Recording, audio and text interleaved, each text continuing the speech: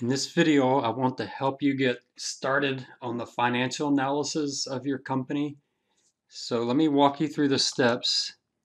What you want to do first, step one, is load two Excel files. The first file is the Walmart file from the from Bloomberg and the second one is the Excel file companies to select from. So you load those two files. I'll show you those two files in a second.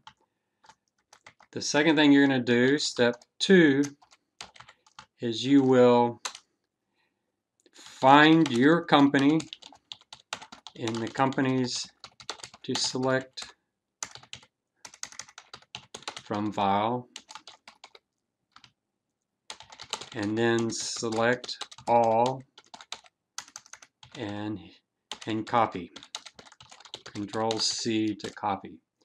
Alright so let me show you that. Here's the Walmart file.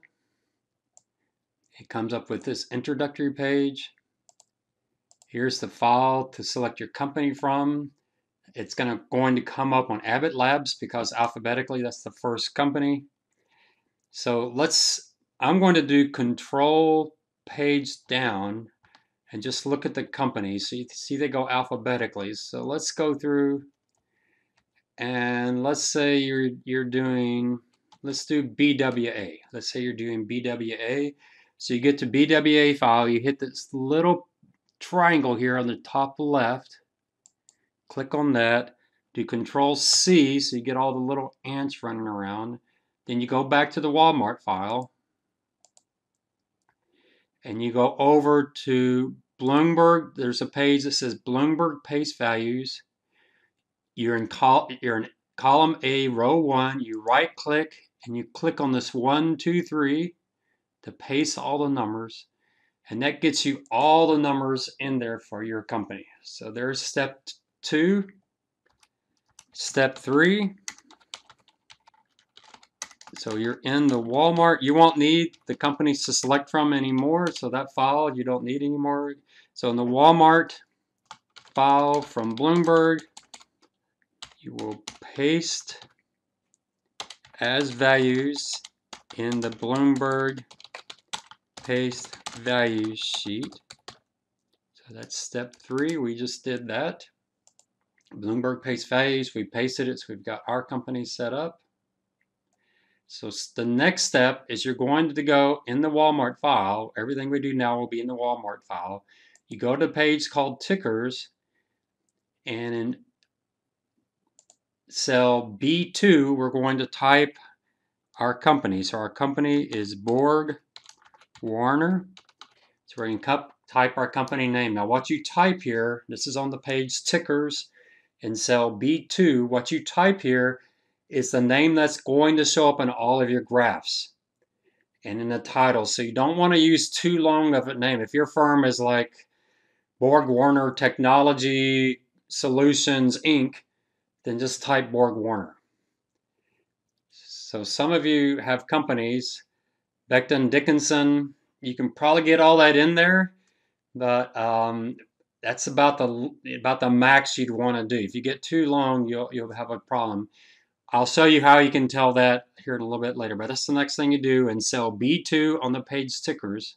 So step four in the Walmart file in the sheet tickers in cell B2 type your company name as you want it you want it to display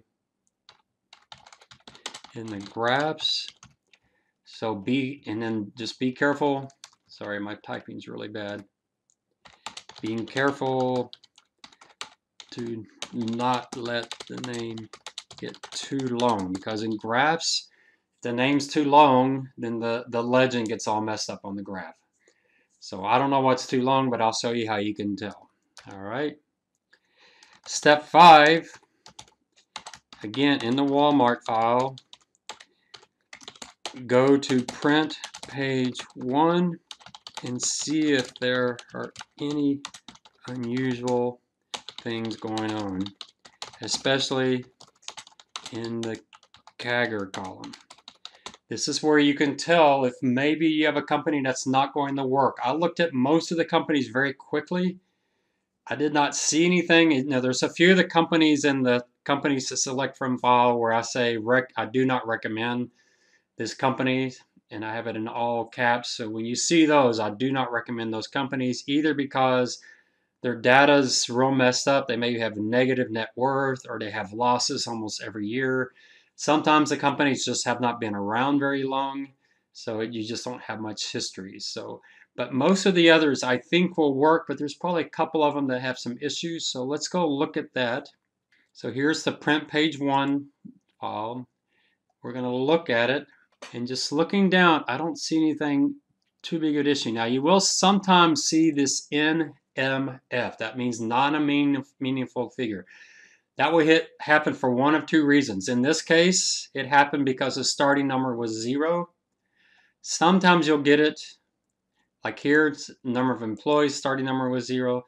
Sometimes you'll get it because the starting number was positive and the last number was negative, or the starting number was negative, the last number was positive. It is okay to have a few NMFs, but if you're seeing like 10, 15, 20 of them, like almost every every every place it is an NMF. There may be something wrong with the data, and so you know that's just just an issue that might make this company not not a good one to use. So this one, Borg Warner, works well. There's not that many problems. Even though their net income has fallen dramatically, we somewhat expect that with some companies because of COVID-19. You can see their net income has dropped real dramatically the last three years but that's that's expected. We had a major crisis, so some companies will have that. So we're okay there. The next step, step six, and again in the Walmart file, go to print page two and see if the graphs look reasonable. Are there any graphs that just are really off the charts. Now you're gonna have some, you have a few that are that that are spikes. So a few dramatic spikes is okay. And here's, you know, but you don't want too many. You don't want every graph to be a problem. So here's a place where if you're not sure, give me a call or email me and say, hey, can you check Borg Warner? I was thinking about doing them, but some of the graphs on print page two don't look correct. So that avoids me having to go in and look at all 120 something companies in detail. I just looked at them high level and thought they looked okay. Uh, but this way, if you just email me when you have an issue, that way I only have to research five or six of them and it just keeps me from having to, uh, you know, just it's too time consuming to look at every single company. So you'll have to do a little bit of the screening for me. So we go to print page two and we look through the graphs. We're looking for any spikes. Here you can see the name I typed on the ticker page, Borg Warner, fits well. If I type the name and look down here in the graphs, Borg Warner, Warner, if I typed a name that was too long, I'll just make something up here.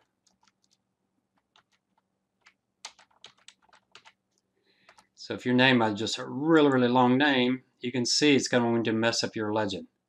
So you don't want to do that. So your print page too, that's where you can see if your company name works well. What we're looking for here is any spikes in in the charts. This spike's okay, it's not that wild. It's spikes I'm talking about is where it just goes off the chart. So this green line here is a little bit of a spike. But it's okay. It's in the 10% and the 90th percentile. Sometimes those will get off. We're mainly focused on our company. We don't see, I don't see anything with Borg Warner. That's that's just a really difficult chart. They don't have revenue per store, so that that doesn't make sense. All of these all of these look pretty well. You can see here the yellow line's a little out of whack, but that's the 10 percentiles. So the 10 percentiles will probably delete those from the chart. But everything looks fine. So I don't see don't see any major issues here. So I can say, yeah, Borg Warner looks like it will work fine. So now that we see Borg Warner works, let me just quickly walk you through what's on this page. So when you're using the Walmart template, all of my comments in that Word document come from print page one and print page two. Now you're going to see what I did is I created a separate sheet, I added a sheet where I collected the charts I was using for Walmart so I could change the titles and I changed some of the um, the axis. So this page you won't use. You'll delete this graphs used for Walmart and what you'll do is you'll create a page and you'll do graphs for Borg Warner. And so as you walk through the template for the financial analysis, you'll see me talking about in Walmart talking about chart one, then chart two, then chart three. And then when you have a 4A, 4B, 4C, I'll pick one or two of those. I won't use all three of them. Then you have chart five. I might take out the 90th percentile because it's so extreme. Chart six. Uh, I don't know why I have a chart 6A. I might change that to just chart 6. So so on and so forth all the way down. So this is what you're going to be doing when you do the financial analysis is using my template, using print page 1 and print page 2. And then you'll notice what I'm using in the Walmart file with all the graphs are the graphs I copied and paste over for graphs used for Walmart. So you'll create a graphs used for Borg Warner, you can just ignore the, graph you might leave the file, the page in there and just create your own sheet, graphs for Borg Warner. And so once you have those all set up, then what you want to do is do a file, save as, and put it somewhere on your computer, wherever. I got mine in downloads, but wherever you want to save it, and just change the name to maybe take the Walmart out and make it Borg Warner or what I mean, whatever your farm, firm is. You can leave the dates if you want to, however you want to do it. I'm still in August. You might do this in September. You can take off the beginning part if you want to, but just change it to a file name so that you know what it is. It makes sense to you, and then you have it. You have the Walmart file to, to look at the Walmart template, but now you have your Borg Warner file to look at the Borg Warner. You have both files. So this, this gets you really set up for walking through the Walmart template. So in summary, step one, load those two Excel files. Step two, in the companies to select from, find your company, select all and hit Control C to copy. Step three, go back to the Walmart file and now you spent all your time in the Walmart file. Paste those values that you just copied into the paste value sheet in the Walmart file. Go to Walmart file to the sheet called tickers and cell B2. Type the name of your company just like you want them to show up on the graphs without too long of a name. Go look at print page one and make sure there's nothing unusual going on, especially in the, uh, the compound annual growth column or the CAGR column. Go to print page two and just make sure there aren't any really wild graphs. Remember, some of the graphs may be wild because the industry data, the 0.1 and the 0.9 percentiles may be wild. If that's the case, don't worry because on some of those graphs we will actually delete those lines because they're just they're just too distracting. Really focus on on your company. Does your company look like it's got something wild going on? You may have one or two charts where your company just looks really really wild, but that's okay. That might be something that doesn't apply to your company or it might be just one thing where you won't use the chart and instead of using the chart you'll just speak to it. The times interest earned can sometimes give really wild results and what I tell students then is you'll just say just talk about times interest earned. You might go to print page one and talk about the numbers but not use the graph at all. So it's okay to have one or two to look wild. If you're not sure, email me, call me, and I'll make sure you've got a company that will work. All right, that's it. Good luck.